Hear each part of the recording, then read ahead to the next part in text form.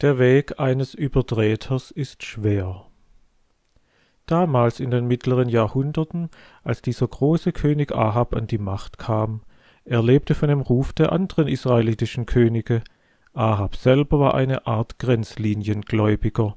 Ich habe ihn oft so verglichen, weil er eine Zeit lang auf dieser Seite des Zaunes war und eine Zeit lang auf der anderen Seite des Zaunes. Bei einem Mann, der so unbeständig ist, weiß man nicht, wo man dran ist. Auch eine Person, die bekennt, ein Christ zu sein und so unbeständig ist, da weiß man nicht, wie man die Person einordnen soll.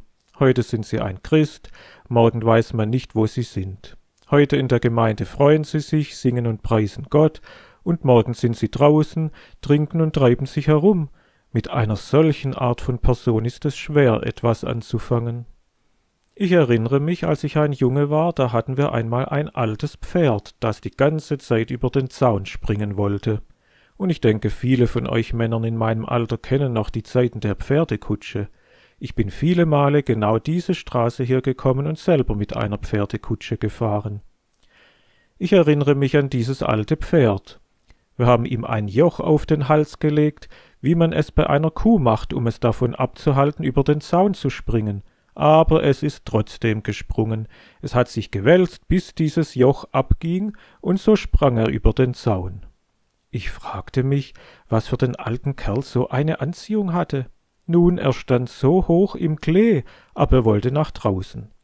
Dort unten war ein großes Dreckloch, wo wir all unsere Drähte, Glas und Müll hinwarfen.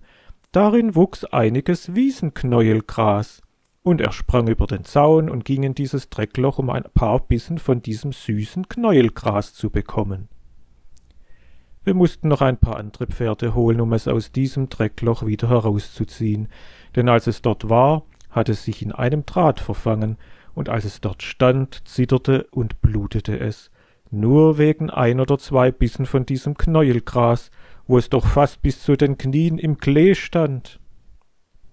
Ich habe oft an dieses Bild gedacht. Der Weg eines Übertreters ist schwer. Er wollte einfach nicht still dort stehen bleiben, wo er fressen und eine wunderbare Zeit haben konnte, sondern er musste über den Zaun springen, sich verletzen und aufschneiden, nur weil er einen Bissen von einem anderen Gras haben wollte. Nun, so ist es auch mit den Menschen, die über den Zaun von Gottes Weide springen. Glaubt ihr das nicht?